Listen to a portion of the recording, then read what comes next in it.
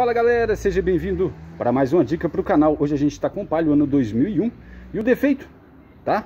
Porta-escova do motor de arranque até então tá falhando a partida. Vamos aqui para dentro do carro para a gente mostrar aqui ó, o defeito. Vamos lá? Vamos vir aqui, carro desengrenado, tá? Vamos vir aqui na chave, virar. E isso, pessoal, nada exato.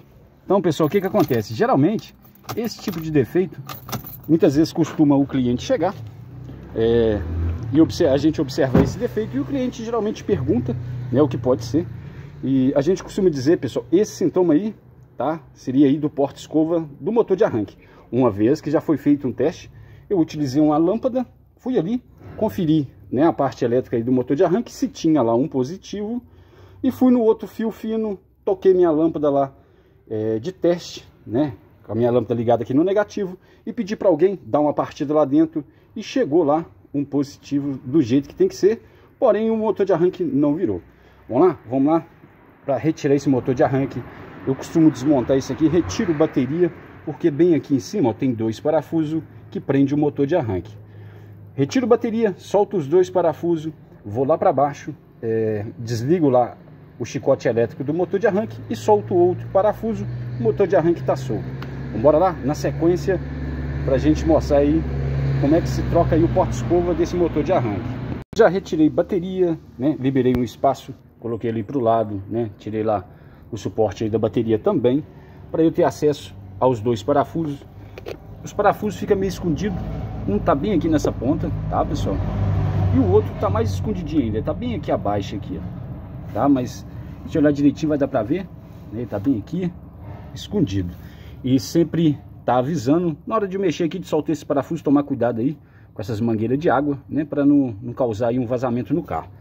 E pronto, agora vamos lá? Vamos descer aqui para baixo aqui. Vamos vir aqui para baixo agora, pessoal, que a gente vai... Eu já até liberei aqui o meu chicote elétrico. Ver se a gente consegue melhorar aqui isto. Vamos lá. Prontinho, tá aí o nosso motor de arranque, né? Vim aqui, ó. Aqui, pessoal, tem essa proteção aqui, ó, de plástico, né? Que dá para observar que costuma, você vai ter que soltar ele aqui, ó, para ter acesso ao parafuso, tá? Já soltei o meu, vou puxar, tá aqui o fio fino, né, que é o 15 aí da partida. Vamos vir agora, vamos puxar aqui o chicotinho. Pronto, liberamos aí o chicote elétrico. E dessa forma, agora só falta esse parafuso, já até deixei uma 13 aqui, preparada. Agora é só eu desapertar, soltar esse parafuso e o motor de arranque vai estar tá solto, né, pra gente ir lá pra, pra bancada. Prontinho, o motor de arranque já está solto. Retirei ali o parafuso. Só a gente vir agora puxar aqui, ó, desse jeitinho. Vamos tentar sair aqui. Isto. Passou aqui. Exato, o motor de arranque já está liberado. Vamos tentar sair daqui. Ali o nosso Voyager funcionando. E é isso, vamos cá. Pessoal, igual eu estava dizendo, né, no início do vídeo aí, é, sobre o cliente, o cliente costuma perguntar então, pessoal, esse sintoma né, que está acontecendo aqui seria do motor de arranque. Né? Mas para a gente ter certeza aí absoluta do problema, só ele indo lá para a moça, para a gente desmontar ele, né? Para de fato dar o diagnóstico aí e ver o defeito.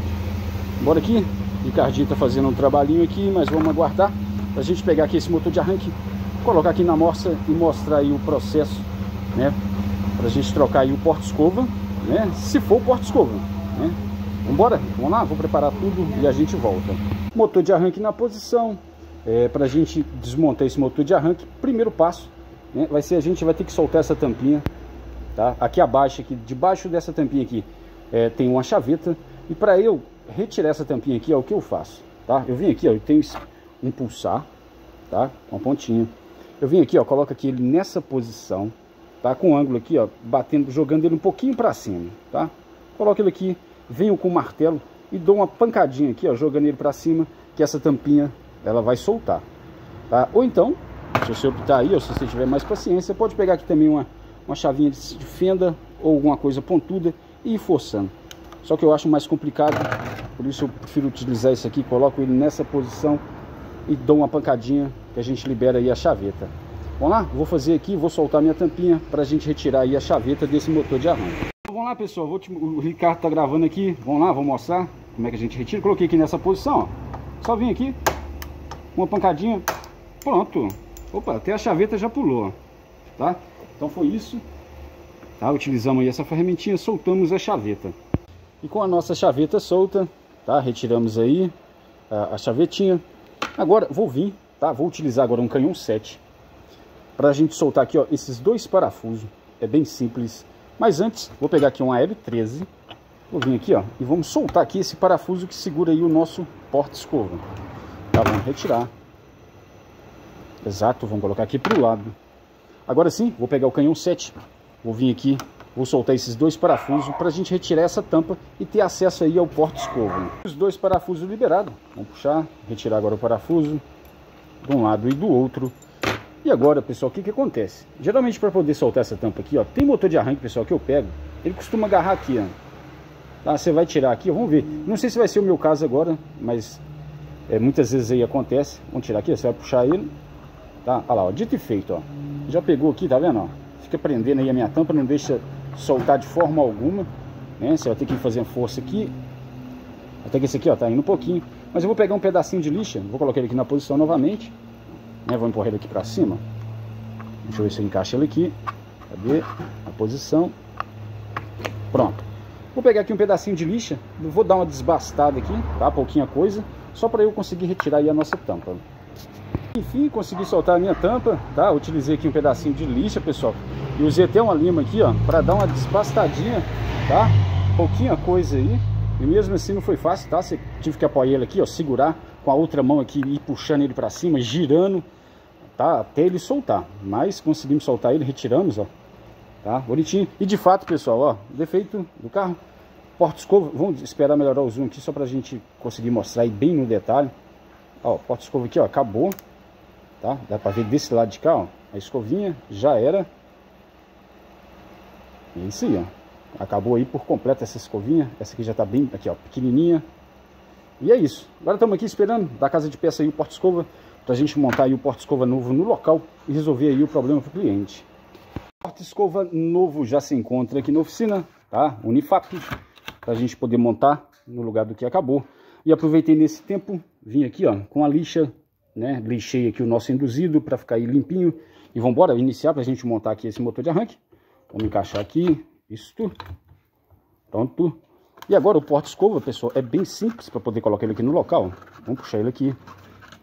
Tá, ele vem com, com isso aqui, ó, segurando as, os carvãozinhos. E a gente vai vir aqui, vamos colocar assim, ó. Agora com as duas mãos, ó, eu vou encaixando. Vamos ver se vai dar para fazer aqui. Vamos ver. Só empurrando isto, tá? Dá para ver, ó, no detalhe. Agora vou precisar das duas mãos aqui para poder... Vamos ver se vai dar. Isto, acho que vai dar. Pessoal, não se esqueça, tá? Toda semana, se você tá assistindo o vídeo até aqui, se quiser acompanhar aí dica do canal toda semana, tá? A gente tá aí com três dicas no canal, tá? Se quiser acompanhar, vai aí no botão de se inscreva, se inscreve aí, que toda semana tem dica. Vamos lá, colocamos aqui, só acabar aqui de acertar o nosso porta-escova, isso. Vou aqui com as duas mãos e acertei ele bonitinho no local porta-escova agora sim tá no local, tá? Lembrar, ele tem uma fendinha aqui, tá? Que ele tem que encaixar. Ficou dessa forma. Já coloquei aqui pra gente colocar o parafuso, pra gente prender. Deixa eu localizar aqui o parafuso, que segura aí o nosso porta-escova. Manda ele aqui, vamos apontar. Isso, agora vou vir com a tampa. Deixa eu localizar ela, vou ver do lado de cá. Passei um pouquinho de graxa, para poder facilitar um pouco na hora de encaixar aqui, ó. Agora que eu vou girando ela, tá? Até eu conseguir encaixar, já tá passando. E é isso, colocar aqui, colocar os parafusos aqui, sete, apertar todo mundo. É, eu só quero mostrar mais um detalhe sobre o chapéuzinho, tá? Vou encaixar aqui que eu vou falar um pouco sobre esse chapéuzinho aqui na hora que a gente vai montar ele de volta. Encaixei a tampa, tá? Já apertei o parafuso, esse parafuso, apertei o outro também. Não se esquecer, tá? De apertar esse parafuso aqui do, do porta-escova. E agora, o detalhe é o quê? Vamos pegar essa aqui, aqui ó, a gente tem a chaveta, tá? Tem um anelzinho aqui, uma roelinha, vamos colocar, encaixamos. Vamos pegar agora a chaveta, vamos colocar no local, tá? Isso. E peguei a tampinha aqui, ó, e já coloquei um pouquinho de graxa, tá? Na minha. E vamos fazer o seguinte, vamos colocar ele aqui. Vamos colocar ele nessa posição, vamos dar uma pancadinha para ele encaixar, ó. Tá? Encaixou, feito isso, ó, ficou faceadinho aqui, pessoal. Tem só um outro detalhe que é muito importante. Você vai pegar aqui o pulsar, pessoal, vai vir aqui, ó, na parte de baixo agora, tá? Na parte de baixo aqui, ó. E você vai dar uma pancada desse lado, para literalmente fazer uma amassadinha aqui nessa pecinha, para ela prender, tá? Vai vir do outro lado, dá uma pancadinha também, tá? Só para amassar. Eu faço aqui, ó, nos quatro lados, tá? O porquê disso? É, se você só encaixar aqui, ó, corre risco agora dessa tampinha soltar. Então com pulsar você vai vir aqui, vai bater aqui, ó, bem aqui na parte de baixo. Vamos esperar melhorar o zoom. Isso, aqui, ó, bem aqui na parte de baixo, você dá uma pancadinha desse lado, do outro. Eu faço aqui nos quatro, nos quatro lados, tá? Para me certificar que essa tampinha aí depois não vai soltar, né? Então é isso, vou dar minhas pancadinhas aqui, amassar esse chapeuzinho para poder prender e a gente vai lá pro carro para poder montar esse motor de arranque lá no local.